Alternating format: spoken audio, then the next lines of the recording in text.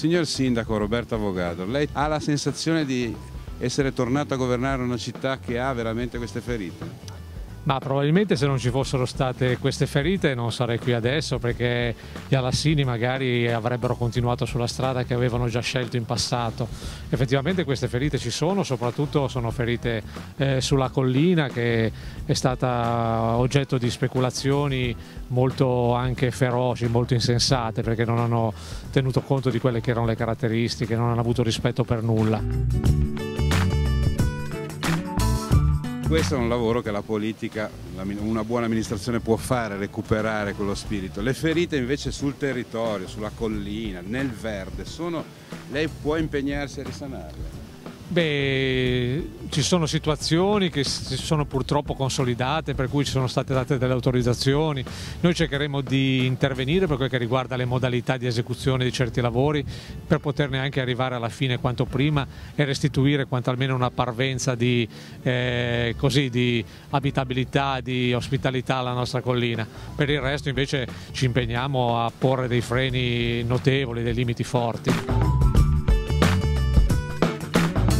Giovanna Faccio, presidente di Italia Nostra all'Assino. Stiamo veleggiando, vorremmo dire, no? andiamo a Montore sì. ma stiamo veleggiando davanti a Punta Murena, che è un luogo delicato, delicatissimo di questa costa, di cui si parla da tanti anni e che rischia qualcosa.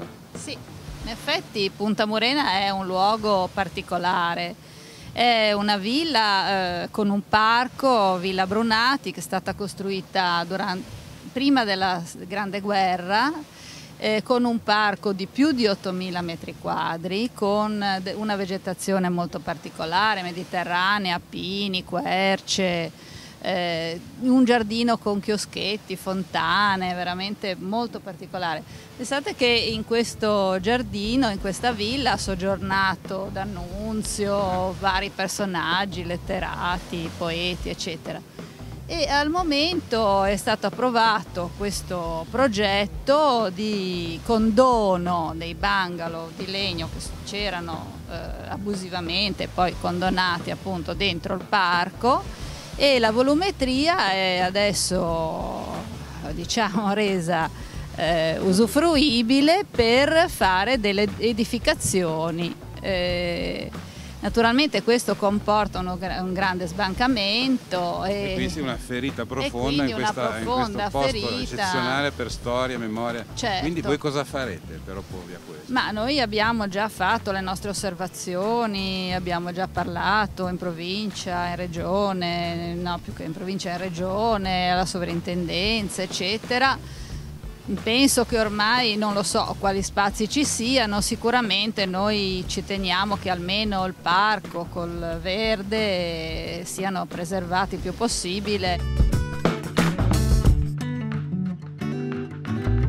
Stiamo circumnavigando la Gallinara, l'isola Gallinara con il professor Alberto Beniscelli, non solo un grande professore dell'Università di Genova, ma oserei dire un grande alassino, un grande conoscitore delle tradizioni e della storia di questi luoghi.